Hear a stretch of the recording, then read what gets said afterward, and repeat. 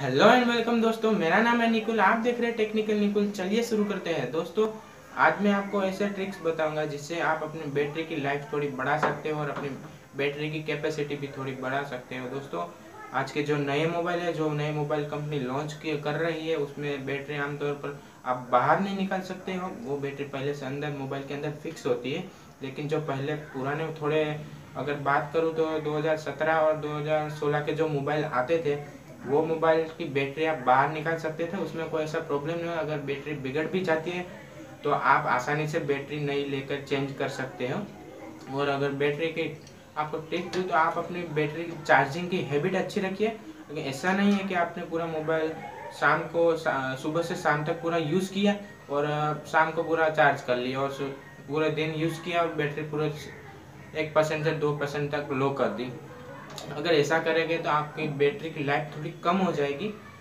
ऐसा एग्ज़ाम्पल के लिए मान लीजिए, अगर आप कोई काम कर रहे हैं और आपको दिन का पूरा खाना शाम को एक साथ दिए दे दिया जाए और आप उसको एक साथ खा लेंगे, कैसा लगेगा? वैसा सेम बैटरी के साथ होता है।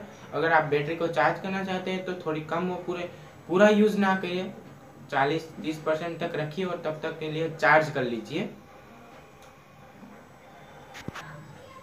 चार्जिंग की हैबिट अच्छी रखिए और दूसरी टिप्स ये है कि आप अपने मोबाइल को चार्जिंग जब हो रहा हो तब उसको यूज़ ना कीजिए। उसके एक बुरा इफ़ेक्ट आपके मोबाइल पे ये पड़ेगा कि जब आपके मोबाइल में चार्जिंग हो, होता है, जब आपको उसको यूज़ करते हैं तो एक तरफ़ से पावर यानी वोल्टेज आता है और दूसरी तरफ़ से आप उसको यूज़ करते हैं तो वोल्टेज जाता है। यानी इसकी आपकी मोबाइल की सर्किट पर बुरा इफ़ेक्ट पड़ सकता है।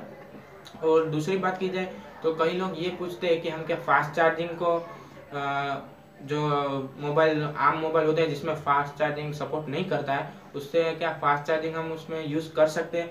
बिल्कुल हाँ कर सकते हैं, लेकिन उसमें प्रॉब्लम ये आती है कि ये जो आपका मोबाइल होता है, उसमें फास्ट चार्जिंग चार्जिंग होगा, लेकिन नॉर्मल स्पीड से ही होगा, क्योंकि उसमें आपको जो फास्ट चार्जिंग की सर्किट सपोर्ट करनी चाहिए, वो आपके पुराने मोबाइल में नहीं होगी। बल्कि जो नए मोबाइल आते हैं, उसमें ये फीचर्स होता है, जिसलिए आप फास्ट चार्जिंग करते हैं तो कम टाइम में आपकी बैटरी फुल चार्ज हो जाती है। तो बस यही टिप्स थे। और अगर आप, दूसरा बात, दूसरी बात ये है कि कई लोग पूछते हैं कि चार्जिंग बैटरी फुल हो जाती है, उसके बाद मोबाइल को चार्जिंग में से निकाल देना चाहिए, वरना बैटरी पर बुरा इफ़ेक्ट पड़ता है। यानी कई लोग ऐसा भी करते हैं कि शाम को मोबाइल चार्जिंग में रखा और सुबह निकाल लेते हैं। इस पर क्या बैटरी फूल जाती है, क्या बैटरी बिगड़ जाती है? दोस्तों, नहीं आता। जब दरअसल जो नए मोबाइल आते हैं, उसमें ये नहीं होता। उसमें एक ऑटोमेटिक सिस्टम होती है जिसके बैटरी सौ टका तक चार्जिंग हो जाने के बाद उसको चार्जिंग जो आता है, उस वो अंदर नहीं जाता। यानी कि ऑटोमेटिक होता है। बैटरी जो हंड्रेड परसेंट तक चार्ज होने के बाद चार्जिंग ऑटोमेटिक वो लेना बंद कर देता है, यानी वोल्टेज वो अंदर नहीं लेता है सर्किट तो यही टिप्स थे अपने बैटरी के चार्जिंग के हैबिट अच्छे रखिए। फास्ट चार्जिंग से कीजिए तो वोल्टेज मैच कीजिए। दरअसल जो फास्ट चार्जिंग का ऑप्शन होता है, जो मोबाइल के साथ कंपनी का चार्जर आता है, अगर वो आप उसी से चार्जिंग कीजिए दूसरे चार्जिंग से अपने मोबाइल को चार्ज ना कीजिए तो अच्छा होगा। और आप फास्ट चार्जिंग से भी नॉर्मल मोबाइल को चार्जिंग कर सकते हैं।